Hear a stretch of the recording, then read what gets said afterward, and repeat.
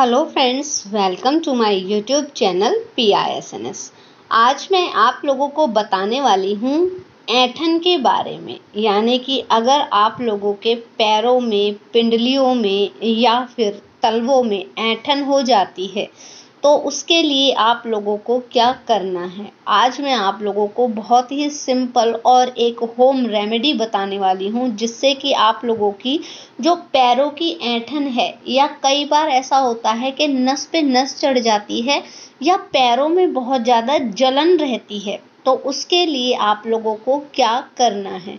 इस रेमेडी को आप हाथ, पैर, पिंडली या कंधे कहीं पर भी इसे यूज़ कर सकते हैं। अब वो होम रेमेडी क्या है, वो बताती हूँ मैं आपको।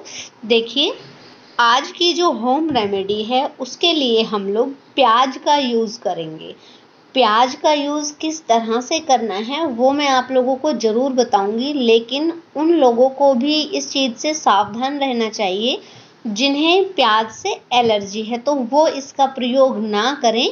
बाकी कोई भी इसका प्रयोग कर सकता है। तो आपको क्या करना है? एक बड़ी प्याज लेनी है और उस बड़ी प्याज को छील लेना है और फिर उसके स्लाइसेस कर देने हैं।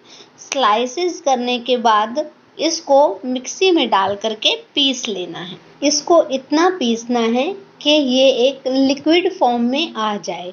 और जब ये लिक्विड फॉर्म में आ जाए, तब आप लोगों को इसे किसी भी मलमल के कपड़े में से या फिर किसी भी छलनी में से छान लेना है। छानने के बाद जो रस निकलेगा, उसको एक बार में आप लोगों को यूज़ करना है, इतना ही रस निकलेगा इसमें।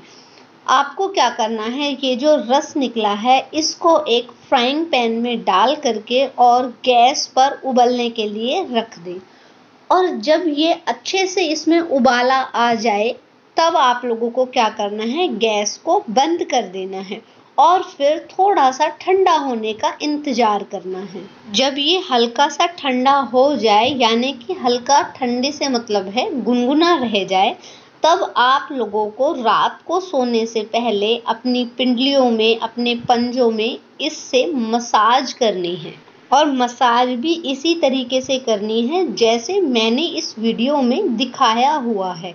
अगर आप लोग ऐसा करेंगे तो आपकी जो पिंडलियों की जलन है, ऐंठन है, वो बिल्कुल ही ख़त्म हो जाएगी।